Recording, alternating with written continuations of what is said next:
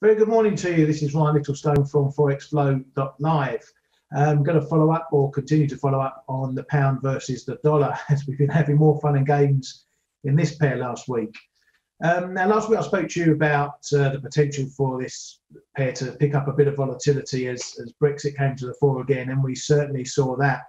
Um, taking a look at the uh, pound dollar daily chart again, um, that first area I was looking at last week was that first blue zone you can see on the chart there, which is up around the, the low 130s, 129.80, that sort of area.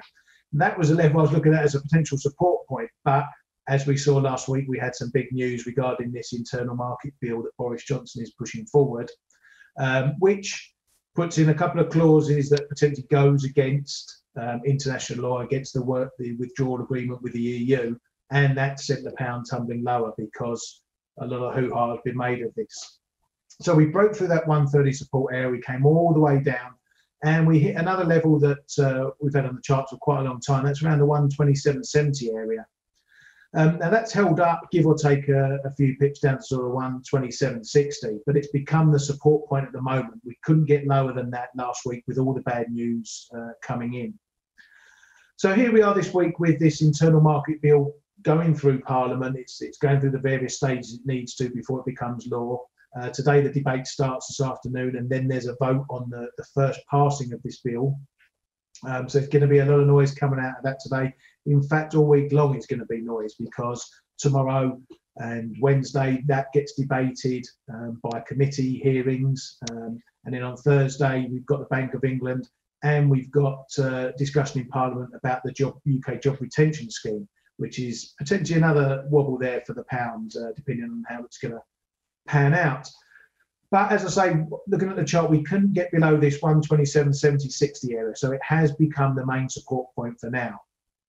Um, the upside is, is a bit more messy because it came down so quickly. We really haven't got a lot that's standing in, standing out on the charts, uh, short-term charts at least, until at least we get up to that 130 level. So if we do see the, the price rising, we're going to have to see where the support comes, uh, sorry, where the resistance comes in, where the sellers are, are perhaps going to not let the price stray too far.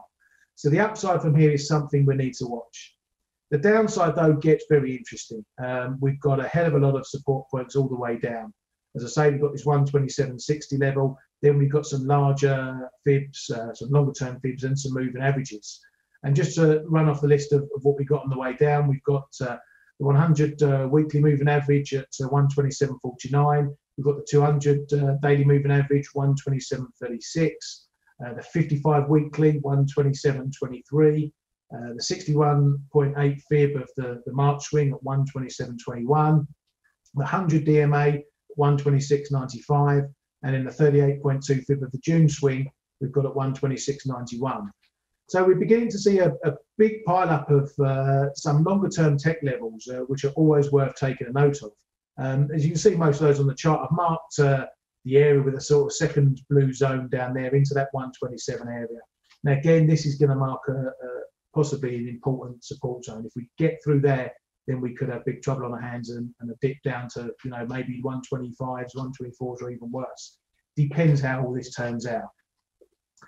Now, personally, my quick take on this is that we need to look through a lot of this noise. There's been a lot of fanfare from the UK, from the EU, that the UK is breaking international laws.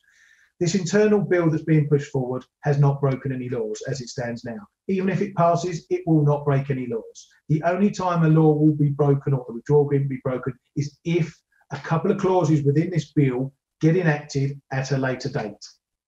So there's been a bit of a hoo-ha and a lot of press picking up on it and making a noise of it. But if we stick with what we know is the actual reality of this thing, it's not as bad as, as everyone's making out as of now. Something for the future maybe, but not right now. And that may factor into how we see the price move from here on in, because the market may start to pick up on that and think, well, actually it's not really as big a deal as, as we think. But as I say, a lot of noise this week again on the pound. So uh, keep your eyes peeled and I wish you all the best.